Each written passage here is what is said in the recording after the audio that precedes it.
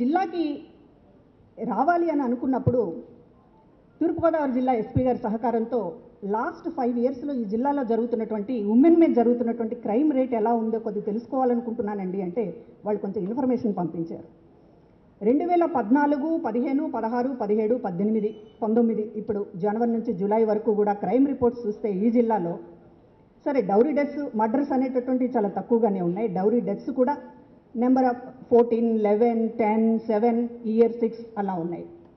కానీ హెరాస్మెంట్కు సంబంధించినటువంటి కేసులు అదేవిధంగా ఆడవాళ్ళని దూషించినటువంటి కేసులు అక్రమంగా తిట్టడం లేకపోతే మాలిస్టేషన్ అంటారు. వీటికి సంబంధించినటువంటి కేసులు నెంబర్ ఆఫ్ కనపడుతున్నాయి. Four fifty four sixty eight year వైజ్గా. Four eighty one five seventy eight four fifty two ఈ ఇయర్ టూ ట్వంటీ. అదేవిధంగా మాలిస్టేషన్ సంబంధించి కూడా four forty seven four thirty eight four twenty four thirty four three sixty ఈ year one sixty five. Rape సంఘటనలు. జిల్లా ఇది. జిల్లాలో rape సంఘటనలు two thousand fourteen eighty two అయితే fifteen hundred sixteen one sixteen seventeen one not five eighteen ninety three ఈ year forty seven. ఇంకా ఇంకా కొన్ని వేరే కేసులు ఉన్నాయనుకోండి బయోగమే ఇవన్నీ కూడా. అంటే ఒక జిల్లాలో మహిళలకు సంబంధించినటువంటి వేధింపులు అదేవిధంగా మహిళలని దూషించటం అనేటటువంటి కేసులు అదేవిధంగా రేప్ కేసులు కూడా.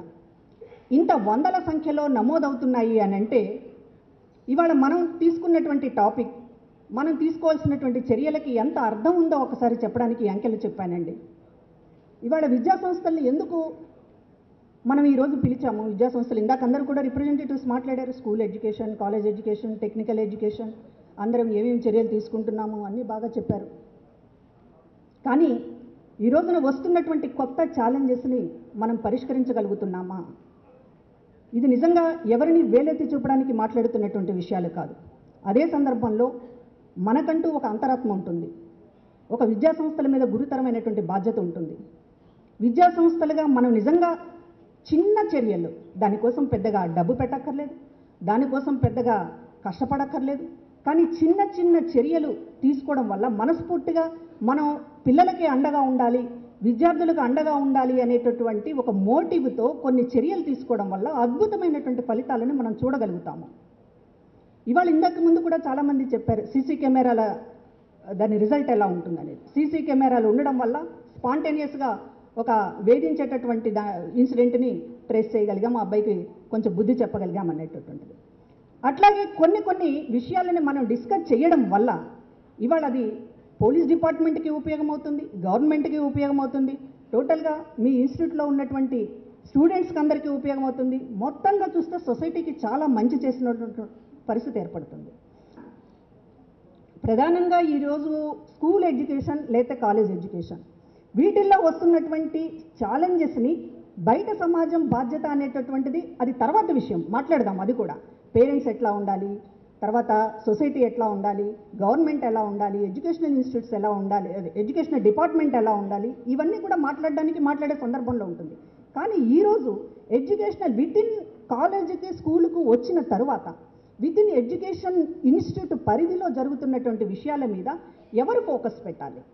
పెట్టాల్సినటువంటి బాధ్యత ఎవరికి ఎక్కువ ఉంది. నిజానికి విద్యాసంస్థలు నడుపుతున్నటువంటి నిర్వాహకులకి లేకపోతే అందులో ఉన్నటువంటి స్టాఫ్కి ఈ రోజున మనం పెట్టుకుంటున్నటువంటి అన్నీ కూడా అమలు చేస్తున్నామా అని ఒకసారి ఆలోచిస్తే ఒక ఇంటర్నల్ కమిటీస్ ఏదైనా కానీ ఒక ఫిర్యాదులు పే- పిల్లలు ఫిర్యాదులు చేయాలి అని అనుకుంటే మనం దానికి అవకాశం ఇస్తున్నామా? లేదా నిజంగా సీసీ కెమెరాలు అనేటటువంటివి అన్ని చోట్ల ఉంటున్నాయా? లేదా మనం వాళ్ళకి సరైనటువంటి బస్ ఫెసిలిటీ ఇస్తున్నామా? ట్రాన్స్పోర్ట్ ఫెసిల్ ఫెసిలిటీ ఇస్తున్నామా? లేదా కాలేజ్ బయటకు వెళ్ళిన తర్వాత గేట్ దాటిన తర్వాత మాకేమీ సంబంధం లేదన్నట్లుగా మనం వదిలేస్తున్నామా? లేకపోతే కాలేజ్ లోపలైనా సరే మనం సరైనటువంటి చర్యలు తీసుకుంటున్నామా? స్టాఫ్ ఎలా ఉంటున్నారు? నాన్ టీచింగ్ స్టాఫ్ ఎలా ఉంటున్నారు? వాళ్ళ క్వాలిఫికేషన్ ఏంటి? వాళ్ళ యాటిట్యూడ్ ఏంటి? అమ్మాయిల పట్ల ఎలా ఉంటున్నారు? ఇవన్నీ మనం పరిశీలించేటటువంటి పరిస్థితిలో మనం ఉన్నామా? ప్రధానంగా ఈ రోజున ఇంటర్నల్ కమిటీస్ అనేటటువంటి సుప్రీంకోర్టు గైడ్లైన్స్ ప్రకారం ఉండాలి అనుకున్నప్పటికీ కూడా చాలా చోట్ల మనకు కమిటీస్ లేవు. మనం చెప్పుకుంటున్నాము. చాలా చక్కగా సర్క్యులర్స్ ఇస్తున్నాం. లేకపోతే ఎవరికైనా చూపించడానికి రికార్డ్స్ మెయింటైన్ చేస్తున్నాం. మనం రెగ్యులర్గా కౌన్సిలింగ్ చేస్తున్నామని చెప్తున్నాం. కానీ సిన్సియర్గా ఒకసారి ఆలోచించమని కోరుతున్నా. నిజానికి జరిగినటువంటి జరిగేటటువంటి పరిస్థితి ఉంటే వాళ్ళని అభినందించాలి. ఖచ్చితంగా అభినందిస్తాం. ప్రతి చోట కూడా పరిశీలిస్తాం ఏం జరుగుతుంది అనేటటువంటిది. కానీ నిజంగా ఒకసారి ఆత్మ పరిశీలన అనేటటువంటిది అవసరం. ఎందుకు మనం ఒక కౌన్సిలింగ్ దాన్ని ఒక నిర్లక్ష్యంగా వ్యవహరిస్తున్నాము?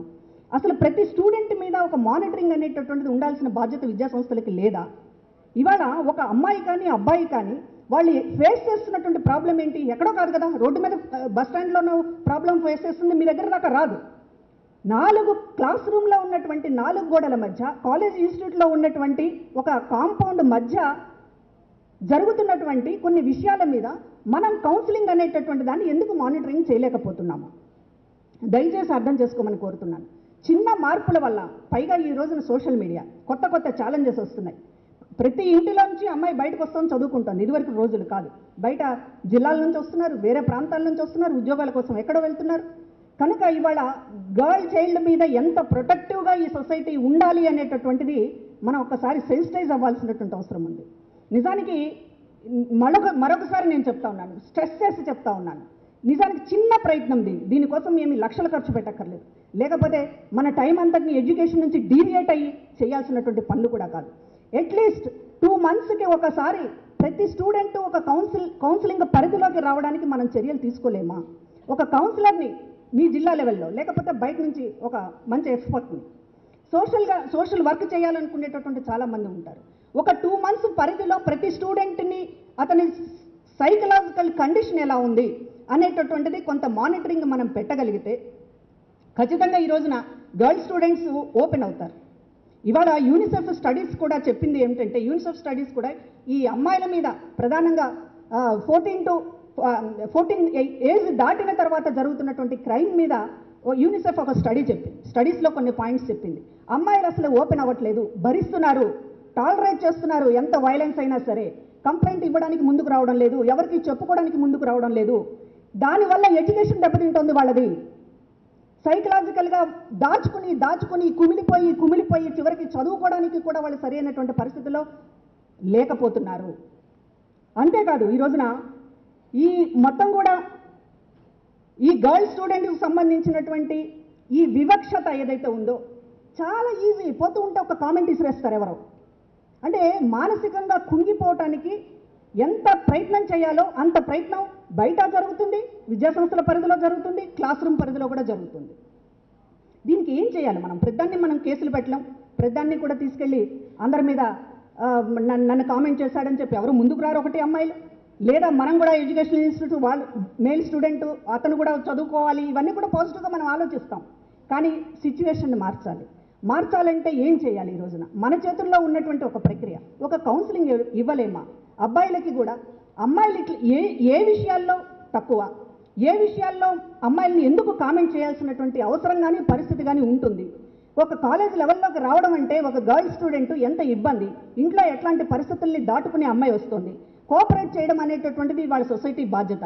ఇట్లా అమ్మ అబ్బాయిలకు సంబంధించి కూడా ఒక మానసిక పరివర్తన రావడానికి సంబంధించి మనం విద్యా సంస్థలుగా మనం దృష్టి పెట్టగలుగుతున్నామా లేదా అనేటటువంటి ఒకసారి ఆలోచించమని మీ అందరికీ సవినయంగా విజ్ఞప్తి చేస్తున్నాను ఎందుకంటే ఇవాళ ఉన్నటువంటి పరిస్థితుల్లో భద్రత రక్షణ అనేటటువంటిది ఇవాళ కేవలం పోలీస్ డిపార్ట్మెంట్ ఇది కాదు. మొత్తం సొసైటీది బాధ్యత తీసుకోవాల్సినటువంటి అవసరం ఉంది. మన పరిధిలో మన విద్యా సంస్థల పరిధిలో ఈ రోజున ఒక చిన్న చిన్న మార్పులు. విద్యా సంస్థలు ఎన్ని చేయాలి రూల్స్ అవన్నీ మాట్లాడితే నేను మేము మాట్లాడగలం మీరు కూడా ఈ చెవిని వినేసి ఆ చెవిని వెళ్ళిపోగలరు. కానీ మొత్తం రూల్స్ అనేటటువంటిది మాట్లాడడం అనే దానికంటే కూడా మీరు కూడా బాధపడతా ఉంటారు. విద్యా సంస్థల నిర్వాహకులుగా మీ కాలేజీ పరిధిలో మీ జిల్లా పరిధిలో ఒక కాలేజీలో ఒక ఇన్సిడెంట్ జరిగితే మీకు కూడా అది చాలా బాధాకరమైనది. మనం ఫస్ట్ హ్యూమన్స్ తర్వాత విద్య అయినా లేకపోతే ఇంకొకటైనా ఇంకొకటైనా ఎడ్యుకేషనల్ ఇన్స్టిట్యూట్ అయినా వ్యాపారమైనా ఇంకొకటైనా ఫస్ట్ మనం హ్యూమన్స్. ఆ హ్యూమన్స్ నుంచి ఈ రోజున ఆ హ్యూమన్ బీయింగ్ ఎందుకు చచ్చిపోతుంది అనేటటువంటిదే దాన్ని కొంచెం మేల్కొల్పగలిగితే ఇవాళ మహిళలకు సంబంధించినటువంటిది అదే పెద్ద కంచుకోటగా మారుతుంది. మనం అందుకనే ఈ రోజున మాట్లాడుతున్నాం. ప్రతి జిల్లాలో కూడా ఇది మాట్లాడాలని అనుకుంటున్నాం. ఎందుకంటే ఈ రోజున కలెక్టర్ గారికి ఘనమైనటువంటి స్వాగతం పలుకుతూ ఉన్నాం. అనేది కూడా ఒక ఛాలెంజ్గా ఉంది మీ అందరికీ తెలుసు. దాదాపు రోజులో ప పన్నెండు గంటల పాటు ఇంకా ఎక్కువ కూడా కొన్ని- కొన్నిసార్లు కావచ్చు. ఎడ్యుకేషనల్ ఇన్స్టిట్యూట్స్లో జరిపేటటువంటి స్టూడెంట్స్కి మనం ఫేస్బుక్ని ఎలా వాడాలి? లేకపోతే ట్విట్టర్ని ఎలా వాడాలి? లేకపోతే ఇంకా వా చాటింగ్ ఎలా చేయాలి? ఎలాంటి జాగ్రత్తలు తీసుకోవాలి అనేటటువంటిది మనం ఒక సబ్జెక్టుగా మనం చెప్పలేకపోతున్నాం. అంటే వాళ్ళు ఇంట్లో నేర్చుకోవాలి బయట నేర్చుకోవాలి అనేది చెప్పొచ్చు. కానీ మనం కూడా కొంత బాధ్యతగా వ్యవహరించడం వల్ల ఉపయోగం ఉంటుంది అనేటటువంటిది మరొకసారి మహిళా కమిషన్గా మీ అందరికీ విజ్ఞప్తి చేస్తున్నాను. ఒక ఒక ఇన్సిడెంట్ నేను చెప్తాను. ఈ మధ్యకనే సైబర్ క్రైమ్స్లో రిపోర్ట్ అయినటువంటి ఒక కేసుని ఇన్వెస్టిగేట్ చేసినటువంటి పోలీస్ ఆఫీసర్ ఒక ఇంటర్వ్యూలో చెప్తూ పన్నెండు నుంచి పద్దెనిమిది ఏళ్ళ మధ్య ఉన్నటువంటి అమ్మాయిలని ఒక్కడే ఒక్కడు ఎంటెక్ చదివి టెక్నాలజీని వాడి ఫేస్బుక్ ద్వారా ఎంత నాశనం చేశాడు అనేటటువంటిది ఆయన చెప్తూ ఉంటే ఎంత ఎంత ఎడ్యుకేషన్ దీని మీద అవసరమో అనేది అనిపిస్తోంది. ఒక ఫేస్బుక్ ప్రొఫైల్లో ఒక అమ్మాయి వాళ్ళ ఇన్స్టిట్యూట్ ఎడ్యుకేషనల్ ఇన్స్టిట్యూట్ పేరుతోటి ప్రొఫైల్ పెడితే ఆ ఎడ్యుకేషనల్ ఇన్స్టిట్యూట్లోనే సీనియర్ అన్నో లేకపోతే మరొక పేరుతోనో ఒక అమ్మాయి పేరుతోటి ప్రొఫైల్ పెట్టి దాని నుంచి మొదలెట్టి ఈఎంఐ ఫ్రెండ్స్ అందరినీ కూడా పరిచయం చేసుకుని దాని అంతటినీ ఒక పెద్ద ఇది చేసి బ్లాక్మెయిల్ చేసి మార్ఫింగ్ చేసి నా సెల్ఫీ అని ఒక అమ్మాయి ఫోటో పెట్టి దానికి ప్రతిగా మళ్ళీ ఈఎంఐ రెస్పాండ్ అయ్యి ఒక సెల్ఫీ పెడితే ఆ ఫోటోని సర్క్యులేట్ చేసి ఆ తర్వాత నెమ్మదిగా ట్రాప్ చేసి ఒక బాయ్ ఫ్రెండ్ అనేటటువంటి వాడిని సృష్టించి మూడో పర్సన్ని తీసుకొచ్చి ఆ బాయ్ ఫ్రెండ్ నిన్ను కోరుకుంటున్నాడు లేకపోతే చచ్చిపోతానంటున్నాడు అని చెప్పి ఒక ట్రాప్ చేసి ఇంత తతంగం నడిపి చివరికి బ్లాక్మెయిల్ చేసి కొన్ని ఫొటోస్ని కలెక్ట్ చేసి ఆ తర్వాత ప్రేమిస్తుందా? అమ్మాయి బాగుంటే ప్రేమించడం లేకపోతే డబ్బు గుంజడం ఈ రెండు కాకపోతే నీ ఫ్రెండ్స్ ఫోటోలు నాకు పంపించు వాళ్ళు స్నానాలు చేస్తున్నప్పుడు లేకపోతే మరొకటి అనేటటువంటి పద్ధతిలో వీళ్ళని కూడా ఆ క్రైమ్లో ఇన్వాల్వ్ చేయడం. ఇంత పెద్ద వేల మందిని ఇతని చేశాడు అనేటటువంటిది చెప్పినప్పుడు ఒక్కడు ఒక్కడు ఇంట్లో కూర్చుని ఇంత తతంగం నడిపాడంటే ఒక రిజిస్టర్ మెయింటైన్ చేసి మరి ఇంతమంది అమ్మాయిలని అంటే ట్వెల్వ్ టు ఎయిటీన్ గర్ల్స్ అనేటటువంటిది వాళ్ళు ఓపెన్ అవ్వలేరు. వాళ్ళు ఇంట్లో చెప్పలేరు బయట చెప్పలేరు. వాళ్ళకి తెలియదు ఆకర్షణ తొందరగా పడిపోతారు. వీటన్నిటిని దృష్టిలో పెట్టుకుని ఆ ఏజ్ గ్రూప్ని టార్గెట్ చేశాడు అంటే మనం ఎంత జాగ్రత్తగా వాళ్ళని నడిపించాల్సినటువంటి అవసరం ఉందనేది ఒకసారి మీకు దృష్టికి తీసుకొస్తున్నాను. సోషల్ మీడియా ఖచ్చితంగా దీని మీద ఒక ఎడ్యుకేషన్ అవసరం అండి ఎట్లాంటి జాగ్రత్తలు తీసుకోవాలి ఇది? ఎడ్యుకేషన్ ఇన్స్టిట్యూట్స్లో మంత్లీ ఒకటి పెట్టండి లేదా ఆరు నెలలకు ఒకటి పెట్టండి. మీకు అంత కష్టం అనిపిస్తే ఒక క్లాస్ పెట్టడానికి ఇబ్బంది ఎందుకు ఉంటుందండి ఒక పర్సనాలిటీ డెవలప్మెంట్ క్లాస్ ఎట్లా ఉండాలి? ఎడ్యుకేషన్ ఎట్లా? సమస్య వస్తే ఎట్లా? ఎవరితో ఏం మాట్లాడాలి? గవర్నమెంట్ నుంచి టోల్ ఫ్రీ నెంబర్స్ ఉన్నాయి మీకు సమస్య వస్తే వీళ్ళకు ఫోన్ చేయండి. లేకపోతే ఎడ్యుకేషనల్ ఇన్స్టిట్యూట్స్లో ఈ సమస్య వస్తే వీళ్ళకి చెప్పండి. రెగ్యులర్గా మనకు ఒక కౌన్సిలర్ ఉంటాడు ఒక టూ మంత్స్కి ఒకసారి వస్తాడు. టూ మంత్స్కి ఒకసారి మీరు అటెండ్ అయ్యే అవకాశం ఉంటుంది. రెగ్యులర్గా ఒక కౌన్సిలర్ వచ్చేటటువంటి పరిస్థితిని మనం కల్పించలేమా? ఒకసారి సీరియస్గా ఆలోచించమని మీ అందరినీ కోరుతూ ఉన్నాను. ఎందుకంటే మనందరి బాధ్యత మన ఇంట్లో నుంచి ప్రతి ప్రతి ఆడపిల్ల వెళ్తుంది బయటికి. మన ఇంట్లో నుంచి ప్రతి ఆడపిల్ల ఎడ్యుకేషనల్ ఇన్స్టిట్యూట్స్కి వెళ్తుంది బయట ఉద్యోగాలకు వెళ్తుంది. ఇది అందరి బాధ్యత. ప్రతి తండ్రి ప్రతి తమ్ముడు ప్రతి అన్న కూడా బాధపడుతున్నాడు. నా ఇంట్లో ఉమెన్కి సేఫ్టీ ఉందా లేదా అనేది ప్రతి కుటుంబంలో మగవాళ్ళు కూడా బాధపడుతున్నటువంటి పరిస్థితి. కనుక మనం చిన్న ఎఫర్ట్స్ అనేటటువంటి స్టార్ట్ చేస్తే ఖచ్చితంగా దాని రిజల్ట్ ఉంటుందండి. ఎందుకంటే ఒక ముఖ్యమంత్రి సీరియస్గా ఉన్నారు అంటే మొత్తం అనేక వ్యవస్థలు సీరియస్గా మారతాయి. అదేవిధంగా ఒక డిస్టిక్ కలెక్టర్ డిస్టిక్ ఎస్పీ అదేవిధంగా డిస్ట్రిక్ట్ ఎమ్మెల్యేస్ ఎంపీస్ మినిస్టర్స్ సీరియస్గా ఉన్నారు అంటే మొత్తం సెటప్ అంతా కొంత కంట్రోల్ అవుతుంది. నెమ్మది నెమ్మదిగా మార్పు వస్తుంది. అందుకని మనం కూడా ఆడపిల్లలకు సంబంధించి ఎందుకు మనం ప్రత్యేకించి ఒక సెల్ఫ్ కాన్ఫిడెన్స్ లేకపోతే పర్సనాలిటీ డెవలప్మెంట్ క్లాసులు పెట్టాలి అని అంటున్నామంటే వాళ్ళల్లో సహజంగా ధైర్యం ఉంటుందండి. తిరిగి వాళ్ళు కాదు. ధైర్యం ఉన్నదాన్ని సందర్భం వచ్చినప్పుడు ఉపయోగించడానికి మనం కొంచెం మోటివేషన్ ఇవ్వాల్సినటువంటి అవసరం ఉంటుంది. సెల్ఫ్ కాన్ఫిడెన్స్ మనం కరాటే లేకపోతే ఇవన్నీ ఎందుకు చెప్పాలనుకుంటాం? ఏది అందరిని పడగొట్టి ఫైటింగ్ చేయడానికి కాదండి. ఒక ఒక స్ట్రెంగ్త్ అనేటటువంటిది నాకు ఈ బలం ఉంది ఎవరైనా వస్తే నేను ఫేస్ చేయగలను అనేటటువంటి ఆ స్ట్రెంగ్త్ కల్పించడమే చిన్న ఒక దీపం వెలిగించడం లాంటిది. ఆ స్ట్రెంగ్త్ కల్పించడానికే మిమ్మల్ని అందరినీ కూడా మోటివేట్ చేస్తున్నాం మేము. ఇవాళ ఆ చిన్న ఒక ఒక సెల్ఫ్ కాన్ఫిడెన్స్ అనేటటువంటిది అద్భుతంగా పనిచేస్తుంది ఆ అమ్మాయి విషయంలో. నాకు సమస్య వస్తే నేను ఓపెన్ అవ్వాలి. నా సమస్య వస్తే నా లెక్చరర్కి చెప్పుకోవాలి. అక్కడ కాకపోతే ప్రిన్సిపల్కి చెప్పుకోవాలి. అక్కడ కాకపోతే ఇంకెవరికైనా చెప్పుకోవాలి అనేటటువంటిది రావాలి. ఎందుకు కుమిలిపోవాలి? ఎందుకు దాచుకోవాలి? ఇంతమంది ఫేస్బుక్లో ఇందాక చెప్పినటువంటి ఇన్సిడెంట్లో వేల మంది అమ్మాయిలు ట్రాప్కి గురైనా కూడా బయటకు వచ్చి కంప్లైంట్ చేసింది ఒకే ఒక అమ్మాయి. ఆ పరిస్థితి ఎందుకు ఉండాలి? ఎందుకు ఇన్ని నేరాలు జరుగుతున్నా కూడా కంప్లైంట్ చేయడానికి భయపడేటటువంటి పరిస్థితి ఎందుకు రావాలి? దయచేసి విద్యా సంస్థల ప్రతినిధులు మీరందరూ కూడా ఒక సంఘటన చెప్తా ఉన్నాను. పాత రోజుల్లో ఒక మాస్టర్ గారు రిటైర్ అయ్యేటటువంటి ఫంక్షన్లో మాకు సంబంధించినటువంటి మిత్రులు ఒక శర్మ గారు ఒకసారి మాట్లాడుతూ మా మాస్టర్ గారు మా అందరు కడుపు కొట్టేవారండి క్లాస్ రూమ్కి రాగానే అన్నారు. ఇదేంటి ఈయన ఇలాంత నెగిటివ్గా చెప్తున్నాడు కడుపు కొట్టేవాడు అని అంటున్నాడు అని చెప్పి మేమందరం కూడా ఆశ్చర్యపోయాం. నిజంగానే ఆయన కడుపు కొట్టేవాడు. కడుపు టచ్ చేసి చూసేవాడట. ఇటు తిన్నాడా తినకుండా వచ్చాడా కాలేజ్ స్కూల్కి అని. ఒకవేళ తినకపోతే దానికి సంబంధించినటువంటి ఏర్పాటు చేసేవాడట. కాబట్టి మొత్తం ఇవాళ ఒక గురుతరమైనటువంటి బాధ్యత ఉన్నటువంటి విద్యా సంస్థల అధిపతులుగా మీ అందరికీ చేతులెత్తి ప్రార్థిస్తున్నాను నమస్కరిస్తున్నాను. మీరు తలుచుకుంటే చేయగలరు. మీరు తలుచుకుంటే ఈ తరాన్ని కొంత మార్చగలరు. ఈ తరానికి ఒక రక్షణ ఇవ్వగలరు. దయచేసి మేము చెప్పినటువంటి విషయాలను ఒక కౌన్సిలర్ వ్యవస్థని ఒక పర్సనాలిటీ డెవలప్మెంట్ క్లాసులతో మొదలుపెట్టండి. ఆ తర్వాత మిగతా విషయాల్ని విస్తరించుకుంటూ పోదాం. కనీసం ఈ రెండు చర్యలు తీసుకోమని మీ అందరికీ సవినయంగా మనవి చేస్తూ ఇందాకనే నేను ప్రస్తావించాను కలెక్టర్ గారు ఎడ్యుకేషన్ మినిస్టర్ గారు ఎంతో ప్రోత్సహించి సహకరించారు. వారికి ప్రత్యేకించి మా తరపున మీ తరపున కూడా ధన్యవాదాలు తెలియజేస్తున్నాను ఈ వీడియో గనక మీకు నచ్చినట్లయితే లైక్ చేయండి షేర్ చేయండి.